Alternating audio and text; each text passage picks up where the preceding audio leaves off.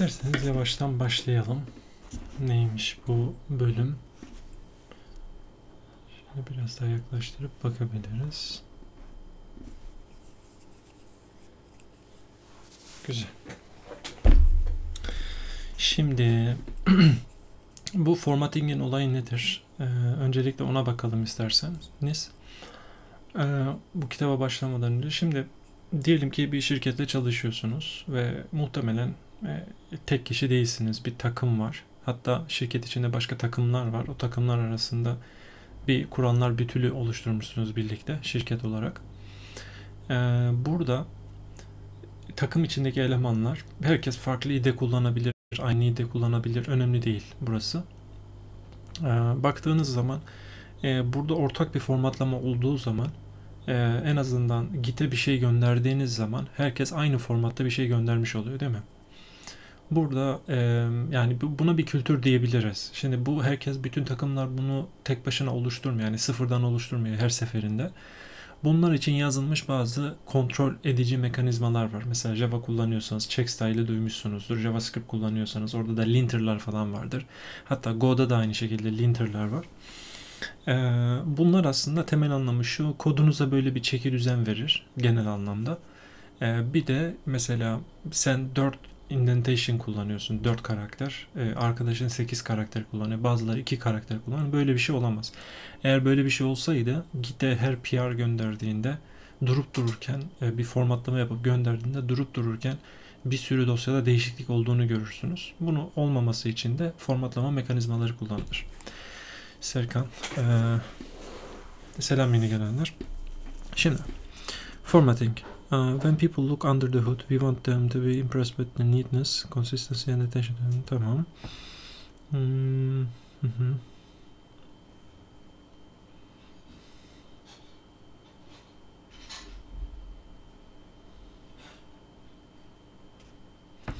Yani bu e, kodun düzgün olmasını herkes ister diyor ama ona ilgi göstermediğiniz zaman, önem göstermediğiniz zaman bu çok farklı yerlere gidebilir yani.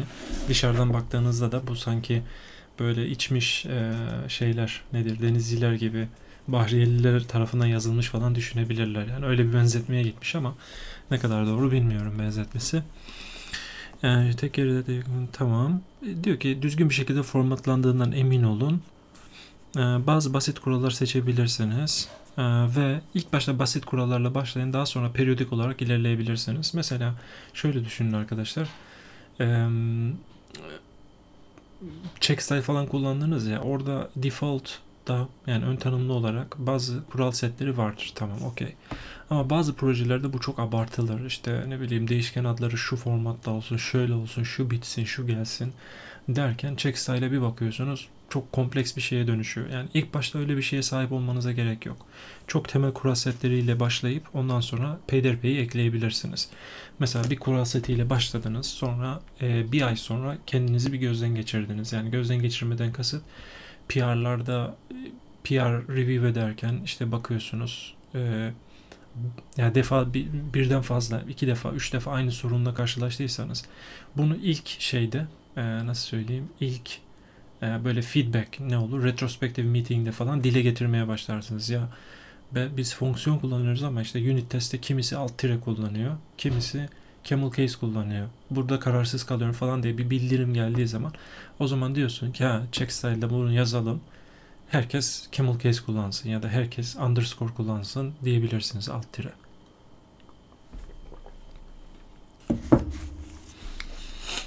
Formatlamanın amacı nedir?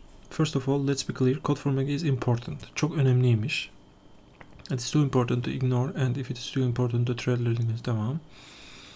Uh, code formatting is about communication and communication is a professional order of business. Yani profesyonel anlamda bu işi yapan elemanlar için aslında çok önemliymiş bu formatlama olayı. yani şöyle düşünün. Devlet dairesine bir dilekçe yazıyorsunuz değil mi? Diyor ki işte sağ altta adı soyad olacak, imza olacak falan böyle formatlar var ya. Bu kodda da aynı format olması lazım.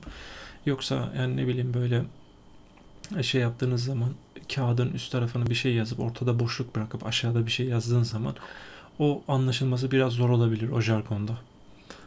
Perhaps you thought that getting it working was the first order of business. I hope by now, however, that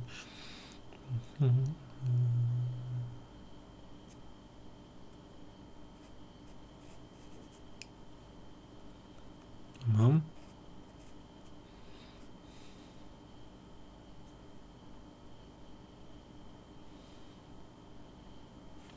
Tamam bu gerçekten önemliymiş yani mesela kötü bir kod yazdığın zaman hani anlamsal olarak kötü bir kod yazdığında onu refaktör edebilirsin. Ama e, bu formatlama bambaşka bir şey. Yani dediğim gibi siz bir PR gönderiyorsunuz. Bu PR'ı gönderen arkadaş normalde 2 satır kod değiştirmiş. Yani bug'ı çözmüş 2 satırda ama bir bakıyorsunuz 15 tane dosya değişmiş. Niye? Çünkü formatlamadan dolayı. Niye formatlanıyor? Çünkü o idesinde başka bir format kullanıyor ve kaydettiğinde otomatik olarak her şeyi formatlamış. Ya da ne bileyim modülü, klasörü seçip formatla demiş falan. Onun gibi şeylere karşılaşabiliyorsunuz. Şimdi baktığınız zaman vertical formatting yani şey e, dikey formatlama ne diyormuş buna? Let's start with the vertical size. How big should the source file be in Java? File size equal class size. Java'da e, herhangi bir file'ın uzunluğu aslında class'ın uzunluğu diyebilirsiniz değil mi? Bir, bir dosyanın içine birden fazla class koyabiliyorsunuz bir dosyanın içinde ama temel anlamda bir tane Java class'ın dosyasının içine bir tane public class koyabiliyorsunuz değil mi? Diyelim ki içinde bir public class var. Bunun boyutu aslında size az çok fikir verebiliyor. Tamam. Şimdi burada bir grafik var ona bakacağız. Şimdi seven different projects are depicted. JUnit, Fitness, TestNG, Time and Money, JDepend and Ant ve Tomcat. The lines through its boxes show the minimum and maximum. Birkaç tane kütüphaneyi elden geçirmişler arkadaşlar. Bunlar bir de meşhur kütüphaneler ve muhtemelen içinde çok ağır kodlar vardır. The lines through the boxes show the minimum and maximum uh, file lengths in each project. The box show approximately one third of the files. The middle of the box is the mean. Tamam. So the average file size in the fitness project is about 65 line. Kabul edilebilir değil mi? Bir dosyanın içinde 65 tane satır var. Hatta gayet iyi. Nasıl başarmışlar bunu bilmiyorum ama gayet iyi yani bu. And about one third of the files are between 40 yüzden fazla. Ha, şimdi bu işi değiştirebilir. Bu yüzden işte percentile denen bir kavram var ya. Şimdi e, 1 bölü 3'ü aslında 40 ile 100, 100'ün üzerinde ama 100'ün ne kadar üzerinde bilmiyoruz. The largest file in the field is about 400 line. 400 line varmış. And the smallest line 6, 6 line olanlar da var. Muhtemelen bu bir şeydir, inamdır ya da ne bileyim içinde constantlar olan bir Java klasıdır gibi gibi. Hmm. Tamam. Şimdi bu grafiğe baktığı zaman da e, öyle bir şey ortaya çıkarmış. Peki buna bakarak JUnit, Fitness and Time and Money are composed of relatively small files. Yani JUnit, Fitness, Time, Money bunlar relatively small. Küçükler. None are over 500 and most of the files are less than tamam. Güzel. Hmm, evet Tomcat ve Ant beklenildiği üzere şey ee, şimdi Gerçi diğerleri de eski projeler. Yani JUnit Fitness bunlar yeni projeler değil. Ama Tomcat ile Ant da çok eski proje biliyorsunuz şey.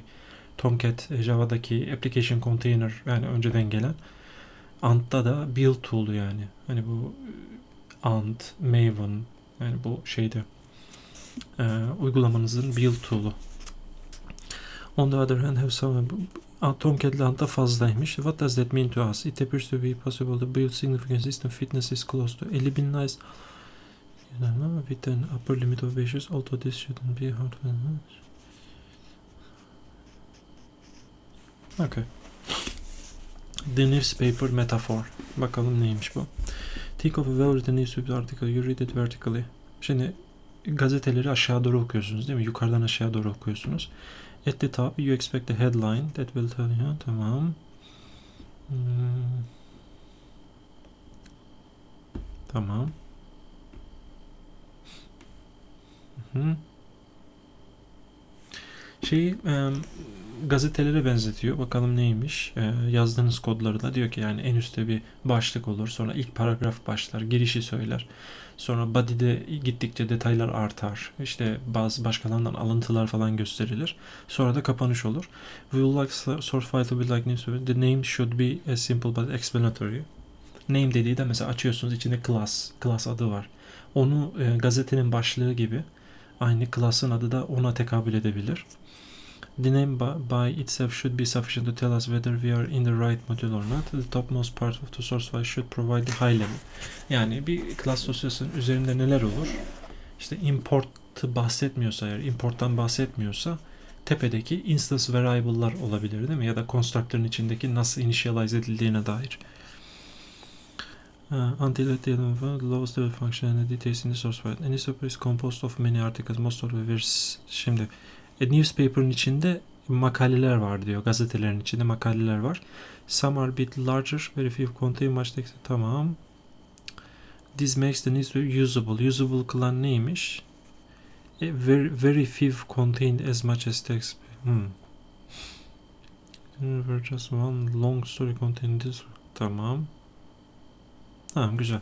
Yani bir gazete düşünün. İçinde sadece bütün olarak kocaman bir makale var. Bunu sindirmesi de biraz zor olurdu değil mi? O yüzden gruplara ayırıyorlar. İşte burası magazin, ekonomi köşesi falan öyle ayırıyorlar. İçinde bölümler var. Dolayısıyla ben burada işte bunu başladım bitirdim. Tamam şimdi gideyim biraz sonra da ekonomi okuyayım. Biraz sonra magazine bakayım dediğinde e, kendinizi lojik olarak, mantık olarak bölüyorsunuz ki işi bitirdiğinizi hissedebiliyorsunuz parça parça. Burada da böyle bir mantık yürütülmüş. Selam arkadaşlar yeni gelenler. Şimdi de vertical'lara bakalım. Ee, şey pardon, vertical yukarıdan aşağı okuduğunuz yani genelde dosyanızın boyutuyla alakalı olan bir şey. Vertical openness between concepts. Bakalım neymiş bu? Nearly all code is read left or right and top the button. Each line represents an expression. Tamam. Okay. Expression yani bir şey ifade ediyorsunuz ya onlar aralarında boşluk olmalı diyor. Mesela burada bir paket tanımı var. Boşluk. Importlar var. Boşluk. Class'ın definition'ı var. Ee, burada iki tane instance değişkeni, instance variable tanımlanmış. Sonra burada bir fonksiyon, boşluk, fonksiyon. Böyle ifadeleri başlık e, boşluklarla ayırmışlar. Tamam. Taking those blank lines. Tamam. Tamam. Gerçekten de etkiliyor diyor yani bu şeyi okunabilirliği. Bir de buna bakalım arkadaşlar. Bakın paket, import, public falan filan. Günümüzde zaten şimdi bu 2008'de 14 sene önce yazılmış. Yazılmaya başlanmış. Daha doğrusu çıkmış galiba. 14 sene öncesiyle günümüz arasında bayağı fark var. Dolayısıyla günümüz modern check style ya da linter'lar bu tarz şeyleri size şey buluyor. Yani bir yöntem buluyor size bunu yapmaya. Ama kullanmayan arkadaşlarımız varsa da bunları göz önünde bulundurup ona göre okunabilirliği arttırmak için daha böyle yöntemler kullanılabilirler. This effect is even more pronounced when you unfocus your eyes. In the first example, the different groupings of line, whereas the second example looks like a model. The difference between these two listings is a bit of vertical openness. Vertical open yani yukarıdan aşağı dikey openness açıklık yani expression'ların arasında açıklıklar var. Bunlardan bahsediyor. Vertical density muhtemelen dikey yoğunluk. Bakalım. If openness separates concept then the vertical density implies close association. Yani birbiri arasındaki bağlantının daha yakın olmasıyla alakalıymış. Bakalım. So lines of code that are tightly related should appear vertically dense. Notice how these useless comments in the listing should break the close association of the two instance variables. Bakalım. The class name of the reporter listener. Class name properties. Tamam. Şimdi diğerine bakalım arkadaşlar.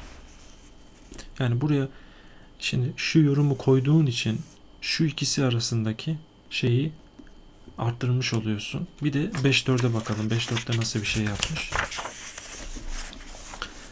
5.4'te de bu arkadaşlar. Bakın.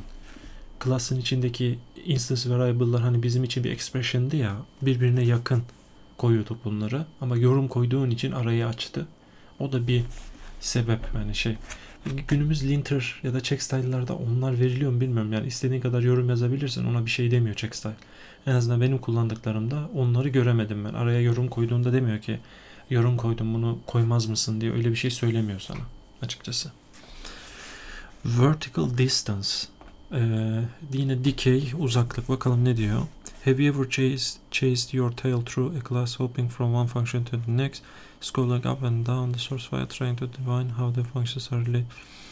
Bunu hatırlar gibiyim. Biraz daha okuyayım. Have you ever hunted up the chain of the inheritance for defining Firstly, because you are trying to understand what the system does, but you are spending your time and mental energy trying to locate and remember.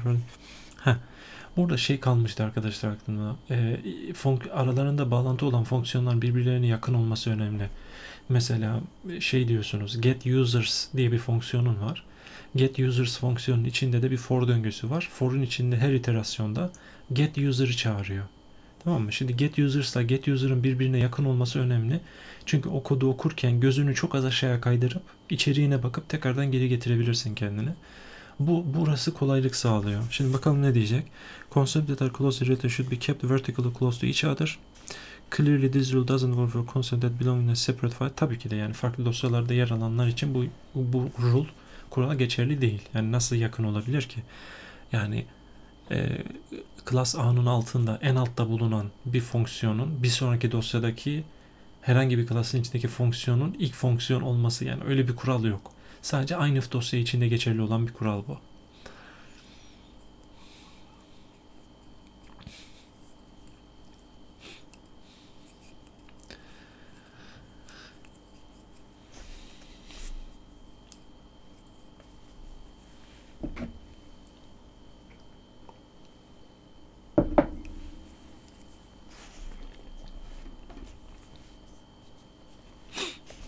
Bakalım. Um, variable declarations. Şöyle. Değişken tanımları. Değişken tanımlamalar. Variables should be declared as close to their usage as possible. Tamam. Yine bu aynı kural. Bir değişken tanımlıyorsun. O değişkenin kullanıldığı yere yakın olması yine biraz önem arz edebilir.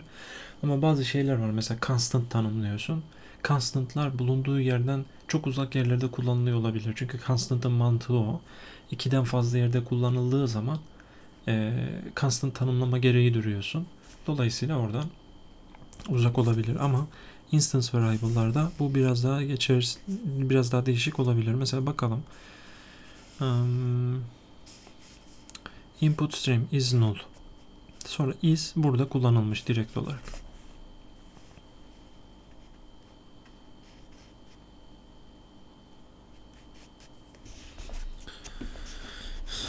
Burada ne yapmış?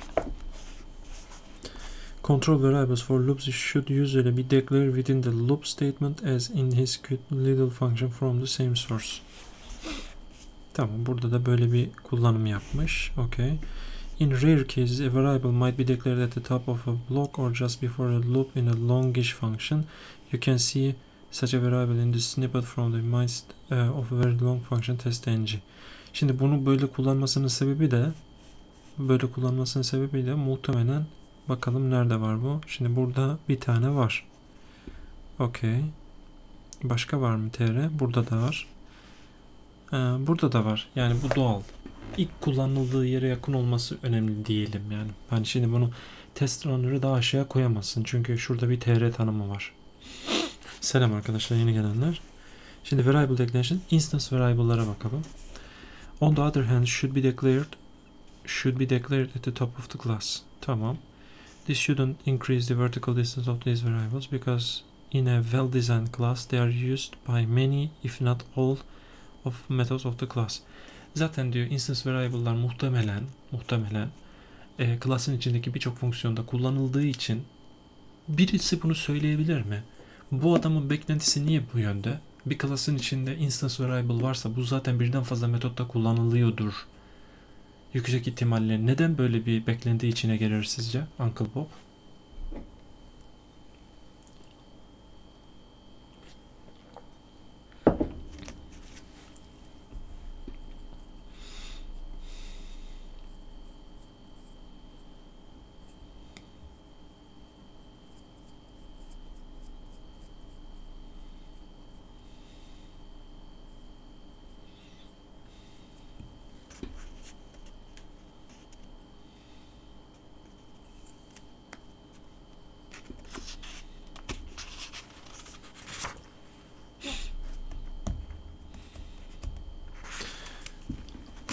Ben cevap vereyim. Şimdi arkadaşlar instance variable'lar birden fazla metot içinde kullanılır. Zaten herhangi bir instance variable bir defa kullanılıyorsa, sadece bir metotta kullanılıyorsa görürsünüz ki size zaten uyarı gelir. Yani bu zaten bir metot tarafında kullanılıyor. O yüzden bunu e, function local variable'a çevirebilirsin diye. bir yerde kullanıyorsa local variable'a çevirirsin. Ama class'ın içinde instance variable olarak geliyorsa bil ki birçok yer tarafından kullanılıyor. Dependent functions'a bakalım buradan. If one function calls another, they should be vertically close and the caller should be above calling. Tamam. Caller should be above calling. Yani e, get users get user'ı çağırıyorsa get users yukarıda get user da aşağıda olması lazım. This gives the program a natural flow. Tamam bunu şey yaptık. Yani mantık olarak biraz anladık gibi. Şuradan bakalım. Mesela e, ne var burada? Load page. Load page burada. Çağrılan yer burada. Yani çağrımlar hep e, şeyde oluyor. Yukarı, e, çağrımlar yukarıda. Fonksiyonun asıl kendisi de aşağıda oluyor genelde. Tamam bu mantığı anladığımız için burası da onu destekliyor. Detaylı okumamıza gerek yok. Conceptual affinity. Bakalım ne demek istiyor burada. Certain bits of code want to be near other bits. They have a certain conceptual affinity. The stronger that affinity, the less vertical distance there should be between them. Bakalım neymiş. As you have seen, this affinity might be based on... But there are other possible causes of affinity. Tamam neymiş? Static assert true, assert true, assert fail, false, assert false. These functions have a strong concept affinity because they share a common naming schema and perform validates of the same basic task. The fact that they call each other secondary. Tamam. Assert true.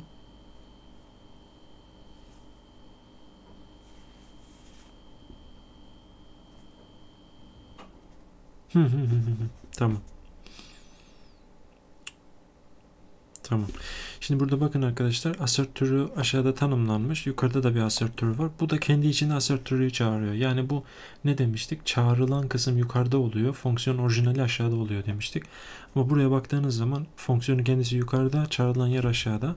Dolayısıyla diyor ki bu konsept yani konsept olarak birbirinin aynısı. Yani bir metot tanımı var burada. Aşağıda da işte assert türü, assert false, assert false bu içeridekiler yani bu bir fonksiyon çağırıyor bir fonksiyon çağırıyor. Bu bir fonksiyon çağırıyor. Bu üçü konsept olarak birbirinin aynısı neredeyse. Onları bir araya toplamış. Da yaptığı bu. Şu e, assert false'un assert false fonksiyonu burada yok bu arada. Sadece şu ikisini düşünürseniz şu ikisini çağrımlar aşağıda ama fonksiyon kendisi yukarıda. Bu bu ikisini bir araya toplamak için yapılmış olabilir diyor. Vertical ordering yukarıdan aşağı ee, sıralama. In general we want to find call dependency to point tamam. The function is called tamam. Şimdi bu e, A fonksiyonu B'yi çağırıyor. B'nin içinde bir yerde de C'yi çağırıyor. Sonra D'yi çağırıyor. Onların sıralı olmasından bahsediyor. Vertical ordering. Horizontal formatting. How wide should be Yani bir satırın genişliği ne kadar olmalıdır? Ondan biraz şey yapmış. İstatistiklere bakalım. Hani şu an günümüzde aynı mı bilmiyorum. Bence var ya bu rakamlar günümüzde çok daha fazla. Yani ben ilk gördüğümde bu bana çok optimistik geliyor bu rakamlar. 60 satır, 40 satır. Yani e, GitHub'da herhangi bir Java projesini açsanız bence bu Line e, ya da Sonar Cloud'da falan baksanız bu satırlar bence çok daha fazla.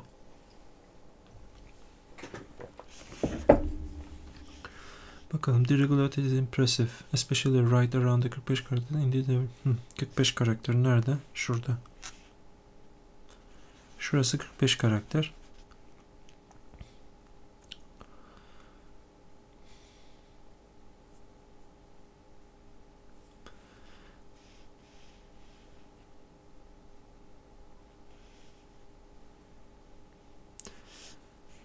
On karakterden az nedir ya?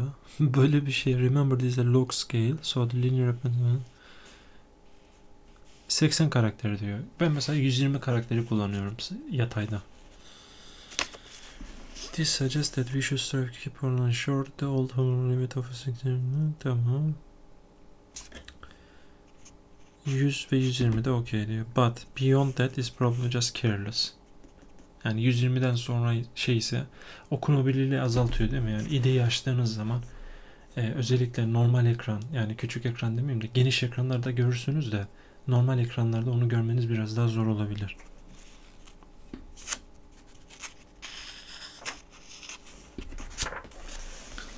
Tamam. Yine horizontal openness and density yine aynı konuya girmiş. Bakalım.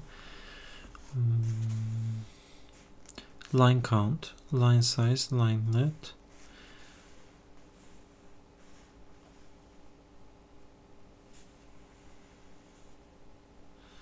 Tamam.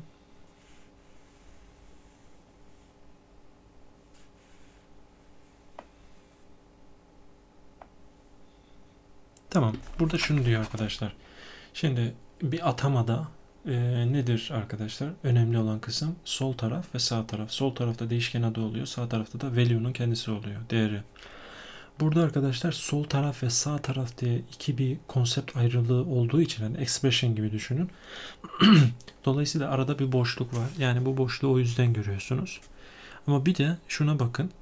Record whitelist şimdi bu fonksiyonla parantezin arasında hiç şey yok. Boşluk yok. Niye? Çünkü fonksiyonla fonksiyonun içine gelen parametreler birbirleriyle çok sıkı bağlantısı var. Dolayısıyla e, orayı ayırmamış. Şeyi bu.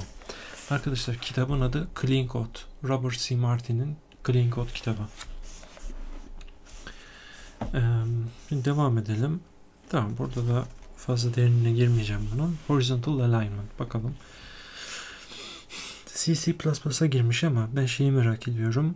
Hmm. Bu galiba 2 falan kullanıyor.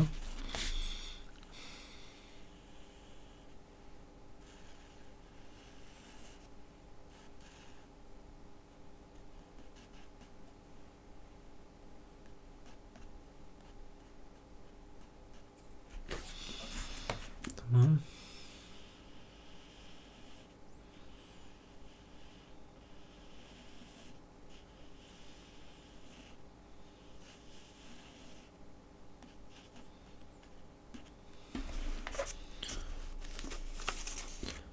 Ha bunu bu ya bu psikopatlık ya. Bu böyle gerçi Go'nun formatlamasında Go Fump dediğin zaman böyle bir şey formatlama yapıyor ama bunu mesela Java'da falan hani böyle bir şey getirmeye çalışmak biraz e, yani gerek yok bence. Mesela bu bu da olabilir yani. Indentation. Şimdi indentation'a bakalım. Indentation'daki rakamları sadece görmek istiyorum ne yapmış diye. Indentation önemli arkadaşlar biliyorsunuz değil mi? Mesela şuradaki koda bakın. Indentation yok. Dolayısıyla yok bu baskı hatası değil şey. Bunu böyle vermiş yani örnek olarak. Aglify gibi bir şey değil mi? Ama böyle yaptığın zaman e, biraz daha okunabilir. Hatta çok daha okunabilir yani. Indentation o yüzden önemli. Breaking indentation. It is sometimes tempting to break indentation rule for short if statements, short while loops. Mesela ıı, neredesin? Hmm. Yani bunu short tanımlamalar için pardon arkadaşlar şöyle short tanımlamalar için böyle alta atmamış. I prefer to expand and indent scope instead like this. Böyle kullanılır diyor. Ben de böyle daha okunur oluyor yani. Şurada çünkü bu bir değişken mi, fonksiyon mu, ne onu anlamakta biraz zorlanıyorum. Aynı satırda olduğu zaman. Haliyle. Dummy scopes. Bakalım. Sometimes the body of a while for um, statement is a dummy. As shown below, I don't like these kind of structures and try to avoid them. When I can't avoid them, I make sure that the dummy body is properly indented and surrounded by braces. Tell you how many times I have been fooled by a semicolon. Aşağıda.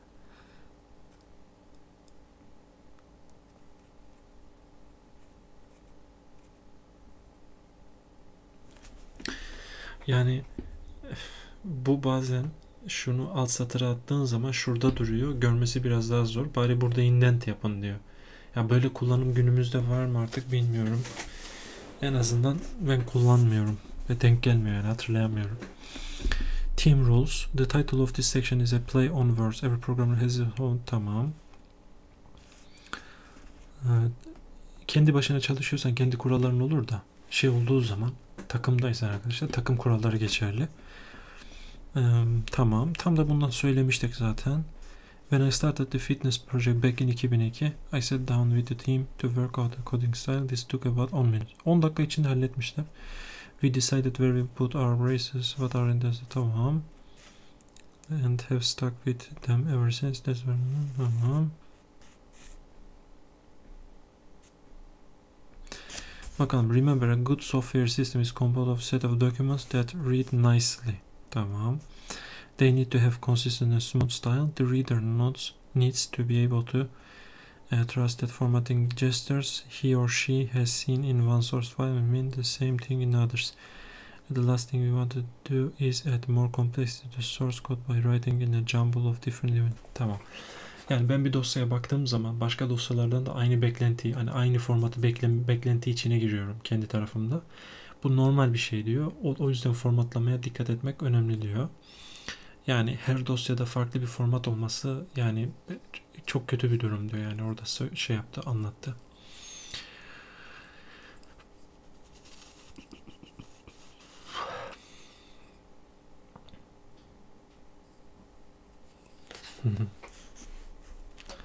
Yani günümüzde bu formatlama olayı o kadar zor yapılabilen bir şey değil. Dediğim gibi bir projenize bir check style eklemenize bakar ya da bir linter eklemenize bakar. Uncle Bob's formatting bir de kendisinden bahsetmiş. The rules I personally are very simple and really simple. Tamam 5-6. Tamam bu da kendininkiymiş. Bakıyoruz ne var. Tamam instance variable'lar şey yapılmış, gruplanmış. Fonksiyonlar space'lerle ayrılmış. if, for, if, else her birinin indentation'ı var. Başka gördüğümüzde while'da da aynı. Başka sol ve sağ atama. Fonksiyon arasında boşluk olmaması. Yani temel şeyler arkadaşlar.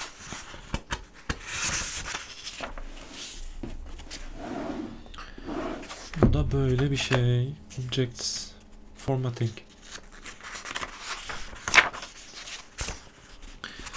Bakayım şu kısa bir chapter'sa bunu da atlayabiliriz. İki tanesini birden götürmüş oluruz. Güzel arkadaşlar. 2-3 sayfada bununla var. Bari bunu da yiyelim. Ee, küme parantezi kullanmıyor sanırım. Bakalım. If else'de küme parantezi kullan. Ha tek satırlık olunca kullanmıyor. Benim gördüğüm o şurada. Tek satırlarda kullanmıyor. Başka bir de şeyine bakayım. Bence bu arkadaşlar tek satır olduğu için kullanmıyor. Ama birden fazla olsaydı ha bak şunda mesela iki satır var içinde, if'in içinde. Onda kullanıyor. Ama güzel gördüm lan bak. Waffle 95. Güzel gördüm. Bravo. Um,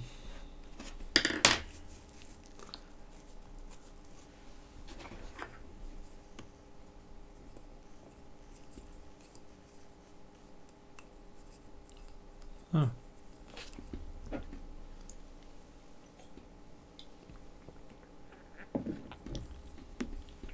Şimdi gelelim Objects and Data Structures. Ne anlatmak istiyor bakalım. There is a reason that we keep our variables private. We don't want anyone else depend on them. We want to keep the freedom to change their type or implementation on a Vim. Why then do so many programs automatically add getters and setter to their object, exposing their private variables? Tamam. Diyor ki herhangi bir objenin içindeki private değişkenleri bazı şeyleri private tutmak isteriz. Çünkü değiştirilmesini istemeyiz. Ama bir zaman sonra bu private değişkenler dışarıya metotlarla açılıyor. Ya editlenmesi için ya da dışarıya gösterilmesi için. Bu niye oluyor? Şimdi onun sebebine bakalım. Data abstraction. Consider the difference between 6162 both represent the data of a point of the Cartesian plan and yet an one exposes implementation and the other completely hides it. Bakalım arkadaşlar. İkisi arasındaki farka bakalım. Şimdi burada Java bilmeyenler için ne kadar kolay bilmiyorum ama burada bir class var. Class'ın içinde public iki tane değişken var. Bu şu anlama geliyor. İki değişkeni de dışarıya açtınız. Ama burada baktığınız zaman bir interface tanımlı yapılmış. Point. Burada double get x, double get y. Bunların da bir de şeyleri var. Fonksiyonları var. Yani bu özellikle interface vardı burada. Java'da interface'lerde hani yeni versiyonda değil de en azından bu kitap yazıldığında interfezlerde arkadaşlar metodların imzaları var. İmzası olur. Asıl implementasyon bu interfeyzi inherit eden elemanlarda var. Implement eden elemanlarda, class'larda. The beautiful thing about listing 6.2 is that there is no way you can tell whether the implementation is in rectangular or polar coordinates. Yani iki değişik şekil içinde bunu yapabiliyorsun diyor. Get x get y. Bir dikdörtgen olabilir ya da polar bir şey olabilir diyor. It might be neither. Hiçbiri de olmayabilir. And yet interface still unmistakably represent a data structure. Buraya baktığınız zaman bir data structure'ıdır bu. Ama buraya baktığınız zaman değişkeni direkt olarak dışarıya alıyorsunuz. Bunu biri editleyebilir. Yani x ve y'nin anlamı çok farklı yerlere gidebilir. Çünkü onu ezmesine izin veriyorsunuz bir nebze. But it represents more than just a data structure. The methods enforce an access policy. You can read the individual coordinates independently, but you must set the coordinate together as an atomic operation. Bak, bunları tek tek okuyabilirsin diyor. Ama x ve y'yi verirken böyle atomik olarak ikisini bir anda vermen gerekiyor diyor. Yani bu sadece datayı saklamakla ilgili olan bir işlem değil diyor burada. Aynı zamanda bu şeyin de e, davranışını değiştiriyorsun. İçerideki data structure.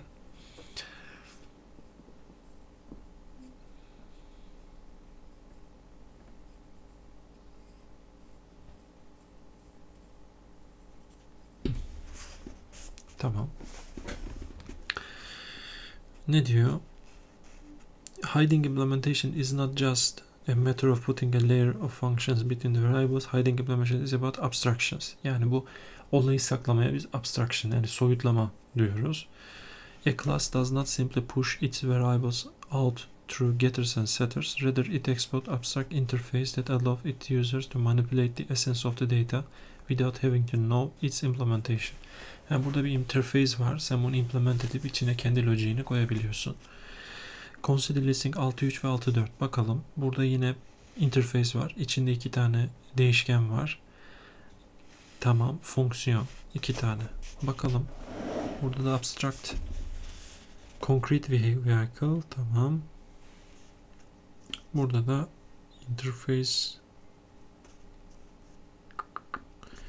Niye böyle bir şey demiş? The first uses concrete terms to communicate the fuel. Get percent fuel remaining.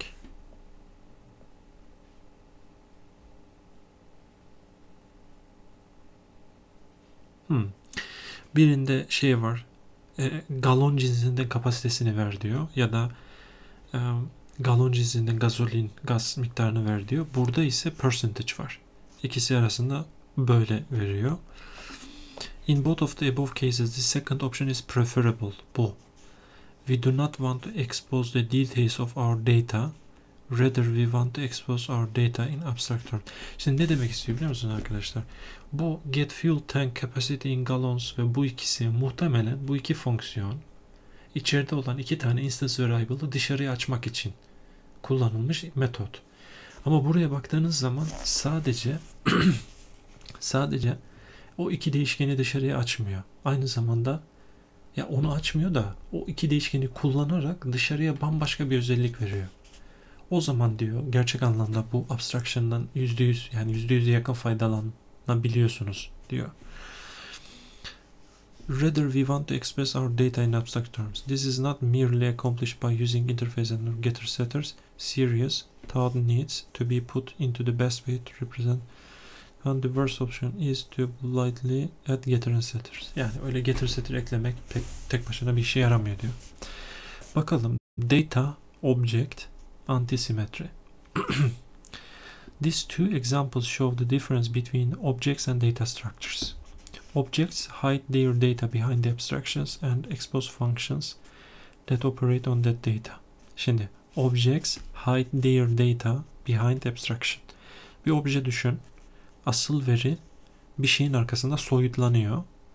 O veri de dışarıya bazı fonksiyonlarla çıkıyor o datayı manipüle etmek için. Tamam. Data structure expose their data and have no meaningful functions. Data structure'da datayı dışarıya expose ediyor. Özel bir anlamı da yok. Go back and read that again. bir daha oku diyor. Tamam. Tamam anladım onu şey yapmayacağım. Notice the complementary nature of two definitions. They are virtual opposites. This difference may seem trivial, but it has far-reaching implications. Consider, for example, the procedural shape example in Instinct 6.5 bu. The geometry class operates on three shape classes. Bakalım. Geometri diye bir şey var. Circle, rectangle, square. Square'in pointi var. Yani şöyle bir square düşünün. Şurası bir koordinat. Double side veriyor. Tamam. ee, rectangle'a bakalım. Yine point var. Height ve width'ini veriyor. Yani uzaydaki lokasyonunu göstermek için. Burada sadece side var çünkü karenin her iki kenarda birbirine eşit. Bir de circle var. Yine point var. Bir de radius var. Şöyle. Yani o da şöyle. Şöyle. Yani şunu belirtmek için. Şimdi bakalım. Geometride ne yapmış? Final double p. Constant. Area. Object shape'i veriyorsun. No such shape exception. Shape instance of square ise bunu yapıyor. Bakalım. Shape rectangle ise bunu yapıyor, bunu yapıyor. Object oriented programs might wrinkle their noses at this and complain that it is procedural, and they'd be right. But this near may not be warranted. Consider what would happen if a perimeter function were added to geometry. Yani geometriye ha doğru. Şimdi geometride area dediğin zaman square, rectangle, circle üçünün de şeyi var. Ha, dur bakayım. Yanlış. Şimdi. Square, rectangle, circle. Bunların üçünün de alanı var değil mi? Onda herhangi bir sıkıntı yok. Ama diyor ki adam bu geometri bunları temsil ediyor bu üçünü. Adam buraya perimeter eklerse ne olacak diyor. Geometriye perimeter'ı eklerse ne olacak? Perimeter e, neydi? Şey mi? Çap mı? Yarı çap mı? Orada the shape classes will be unaffected. Any other classes that depended upon the shapes would also be unaffected. On the other hand, if I add a new shape, I must change all the functions in geometry to deal with it. Again, read that over. Notice that the two conditions are geometrically opposed. Now consider the object-oriented solution. Şimdi buna bakalım. Area method is polymorphic. No geometry class is necessary. So if I add a new shape, none of the existing functions are affected. But if I add a new function to all of the shapes must be changed. Tamam. Şimdi burada ne diyor? Square implements shape. Shape nerede? Shape yok mu bunda?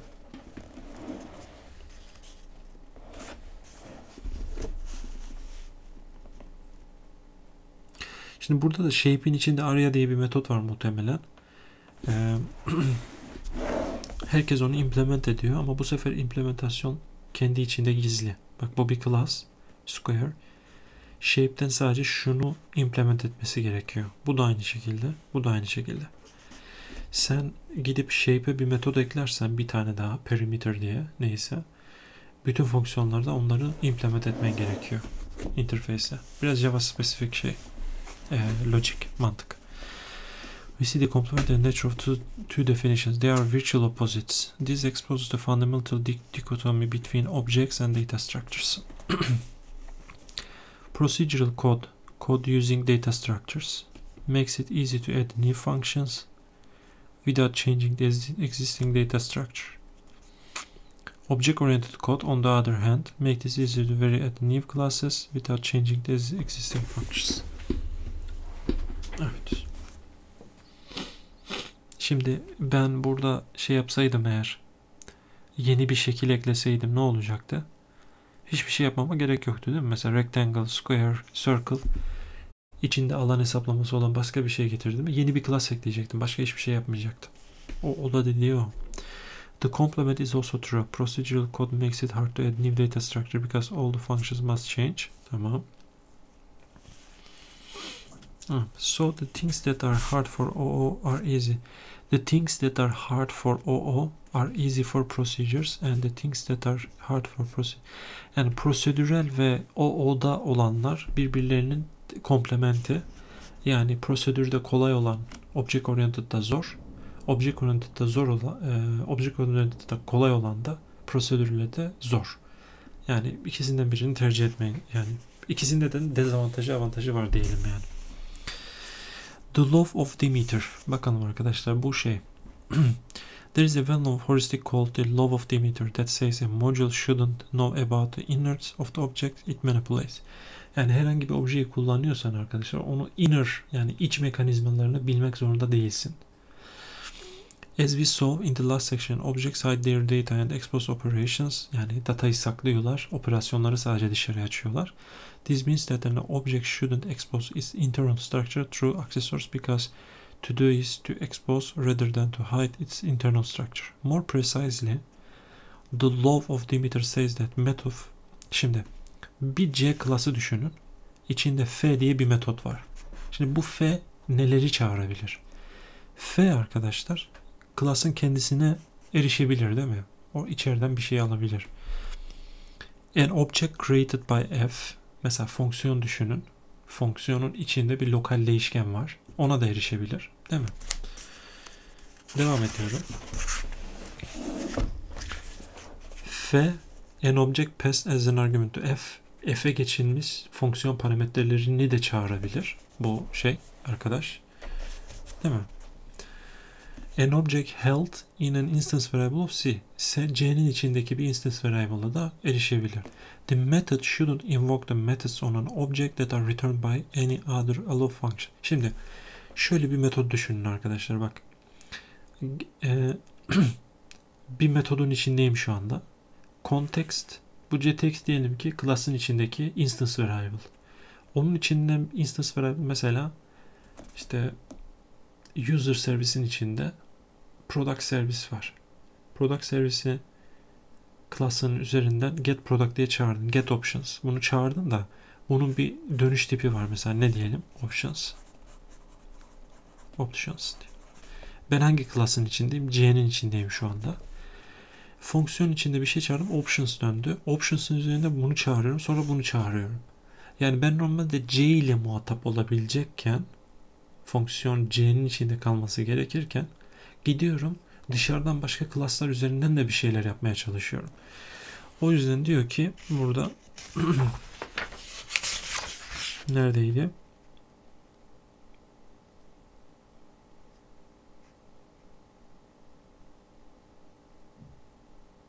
İleride söyleyecek galiba onu. Heh, bu. In other words, told to friends, not to strangers. Yani burada options dönüyor. Onun üzerinde bunu çağırıyor. Sonra onun üzerinden bunu çağırıyor. Aslında yabancılarla konuşuyor bu fonksiyon. Bunu istemiyoruz diyor. Train wrecks. Burada bak ne yapıyor aşağıda.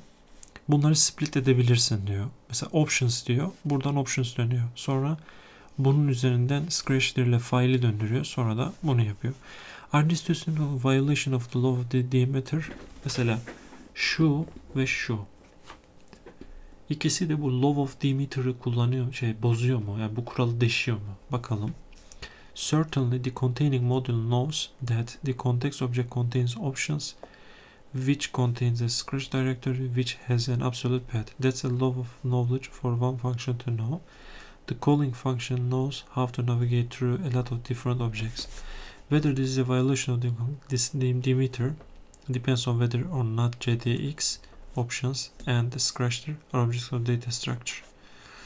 İşte bu şeye göre çok değişiyor diyor. Context şey, option ve scratcher'ın object ya da data structure olmasına göre değişiyor.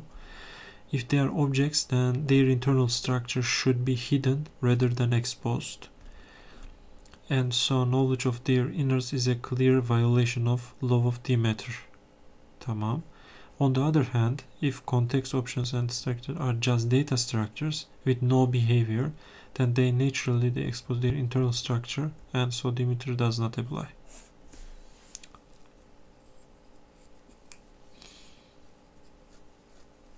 Yani bir data structure olması ne demek? Elinde işte point, işte ne bileyim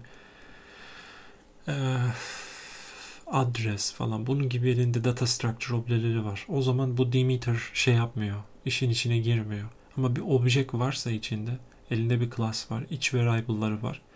Onları böyle dışarıya açmaya çalışıyorsun. O zaman e, bu Demeter'ı delebilir diyor bu. The use of accessor functions confuses the issue. If the code had been written as follows, then we probably wouldn't be asking about Demeter violation. Bakalım. Context, options, scratch'tir, absolute path. Yani şöyle yapayım arkadaşlar. Heh.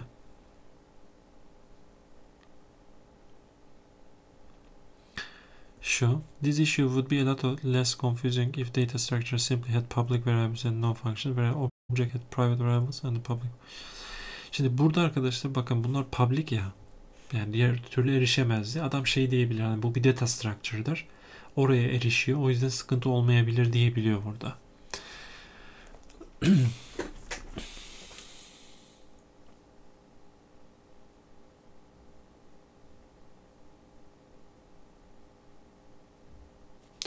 Hocam bu detayı expose etmenin zararı ne olabilir ki okunurluğu kaybetmiyorum yaz.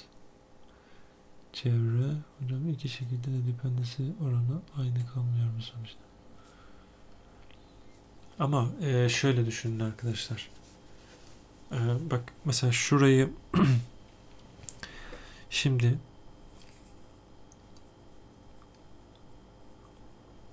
aslında şeye bakmak lazım. Veri yapısı diyoruz ya. Veri yapısı demek ne demek? Veri yapısı. Ee, ona nasıl bir örnek verebiliriz? Bak. Bak. Tamam. Şimdi arkadaşlar veri yapısı dediğiniz zaman mesela e, bir operasyon düşünün. Operasyona uygun veri yapıları oluşturuyor. Mesela cache, tamam mı? Cache. Ondan sonra set. Hani şey diyorsunuz. içeride sadece unique elemanlar olabilir sette. Cache'de mesela hani geçmiş şeylerde anlatmıştık yayınlarda. İşte orada bir map tutuyoruz. Sonra asıl link list var bir tane daha. Yani aslında e, belli bir ob ya obje demeyelim bir class onun içinde sizin veri yapısını anlatan bazı değerleri falan var, field'ları. Bu kadar. Dummy. İçinde başka hiçbir şey yok. Yani mantık olarak yani çok fazla şey aramıyorsunuz data structure'larda. Tamam mı? O yüzden bak burada şey örneği vermiş. Ee, bean mesela. Java'da kullanılır bunlar bean. İçinde field'lar var. Bazen de böyle ufak metodları falan vardır. Simple data structure have accessory mutators. On erişmek için ve bazı yerlerini değiştirmek için metotlarım var. Ama objekte o da biraz daha farklı. E, o yüzden e, direkt olarak dışarıdaki bir modülden gelen herhangi bir yerin üzerine müdahale etmemen lazım. Demek istediği o orada. Objekte. Hybrids. This confusion, this confusion sometimes lead to unfortunate hybrid structures that are half object and half data structure. They have functions. Tamam. Yani içinde hem data structure hem de o, o olan bir yapıdan bahsediyor galiba.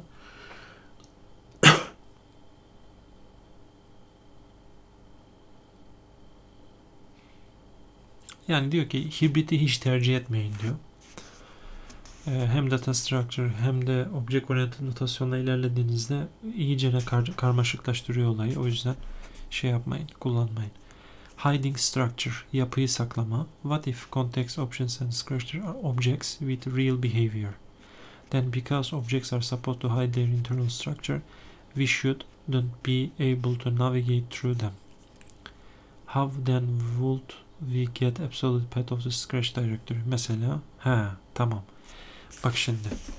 Burada çok güzel bir şey söyledi. Şimdi şu yukarıdaki kullanımda neydi arkadaşlar? Şurada. Şimdi konteksten option'ı çağırıyorsun. Geriye sana option dönüyor. Option'dan bunu çağırıyorsun. Yeni bir tane bir şeydi onun üzerine. Diyor ki ya bunu böyle izin verme. Yani ondan ona ondan ona gidiyormuş gibi izin verme. O zaman da böyle yapabilir misin diyor. Bak 3 tane atlama yerine bir tane. Get absolute path of scare scratch director. Böyle bir tane ver o zaman diyor. Yoksa bu mu diyor. Yani tek noktada tek atışta mı git yoksa iki tane iki adım sonra bir adım mı at? Böyle mi yap? Bakalım. The first option could lead to an explosion of method in the context object. Yani bütün şeyi konteksin içine yığdın. Burada bir sıkıntı olabilir diyor. The second presume that get structure directory option returns a data structure. Yani bu bir data structure dönüyor. Data structure üzerinde yani obje değil yani bir data structure. Neither option feels good. Yani bu bu da onun bir şeyi. Data structure'ın bir şeyi. Field'ı. Yani şöyle düşünün arkadaşlar. Bunu çağırdım. Elime bir şey geldi. Map geldi. Hash map geldi. O hash map'in de bir tane metodunu çağırıyorum. Yani elime başka bir obje yerine başka bir obje yerine bir tane data structure'ı dönerse eğer o data structure üzerindeki field'ı tık diye çağırabilirim kendim. Mesela hash map'in üzerinden key seti çağırabilirim gibi. Ama başka bir obje döndürdüğün zaman bana sen hash map değil de product servisi döndürüyorsan bambaşka bir obje içinde kompleks logic var. Onun üzerinden de bir şey çağırdığında ona kuzuyor. O krala onu yapmayın diyor yani. If context is an object, we should be telling it to do something. We shouldn't be asking it about the internal. So, why did we want the absolute path of the scratch directory? What were we going to do with it? Consider this code from many lines further down in the same module. Bakalım. Şöyle bir class var. File output, out file. Tamam. Şöyle yapalım.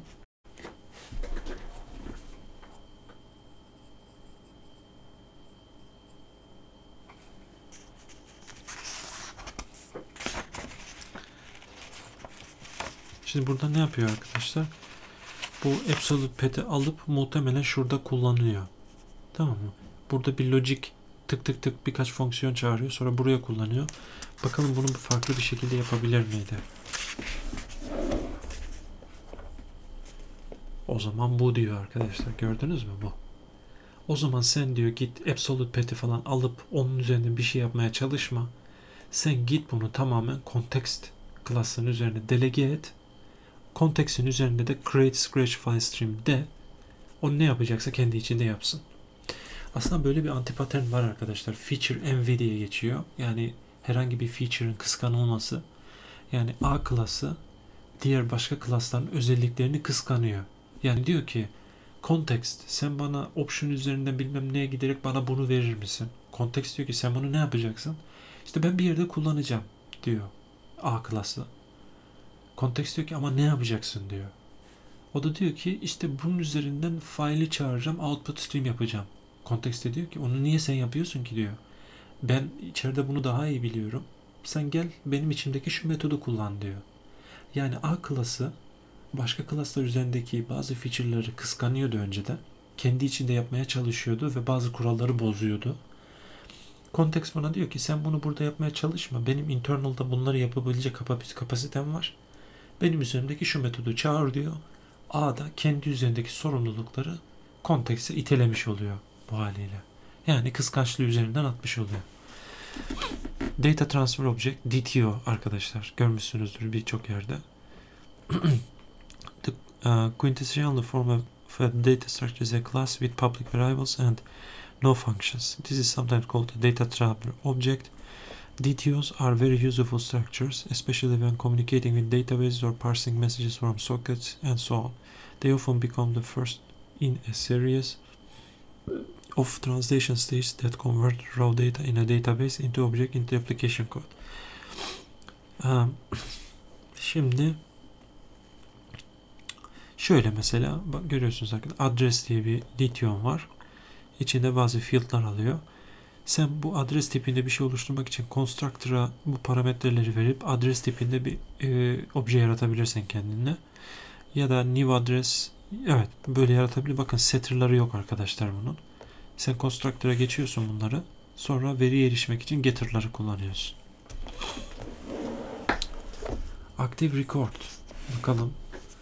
Active records are special forms of DTO. They are data structure with public or bean access variables, but they typically have navigational methods like save and find. Şöyle. Typically, these active records are direct translations from database tables or other data sources. Unfortunately, we often find that developers try to treat these data structures as true they were objects by putting business rules in them. This is over because they integrate a hybrid between data structure and object. Yani bu Active Record'u ben aktif kullanmıyorum arkadaşlar. DTO'dan farklı İçinde save ve find var ama bu adamın yakındığı bu find'in ve içinde fazla logic olmamasına rağmen gidiyor adam içine business logic koyuyor diyor. Onu doğru bulmuyor nedense. The solution of course is to treat the active record as a data structure and not to create a separate object that contains the business rules and that hide their internal data which are probably just instance of active record. Okay. Conclusion'a bakalım arkadaşlar. Objects expose behavior and hide data. Object expose behavior and hide data. Datayı saklıyor, davranışı da dışarıya açıyor objeler. This makes it easy to add new kind of objects without changing existing behavior. Değil?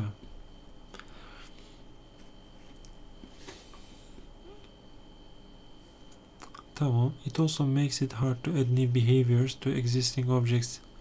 Data structure exposes data and have no significant behavior. This makes it easy to add new behavior to existing data structure but makes it hard to add new data structures. Tamam. Okey. Tamam arkadaşlar burada da en azından data structure üzerinden geçmiş olduk. Hiçbir şey olmasa bile içeride gördüğümüz terimler var. Onlar tekrardan üzerinden geçilebilir. Ee, öyle bir şey olabilir yani yapı olarak. Bence bu iki chapter'ı bitirdiğimiz iyi oldu. Sırada error handling var. Muhtemelen burada Java ile ilgili çok şey anlatılıyor. Zannetmiyorum ki çok jenerik şeyler olsun. Sonra unit testing var. Sonra biraz daha şeylere hiç. Bak bu mesela bir class. Her şeyi yapıyor arkadaşlar. Her şey. Bakalım. Evet.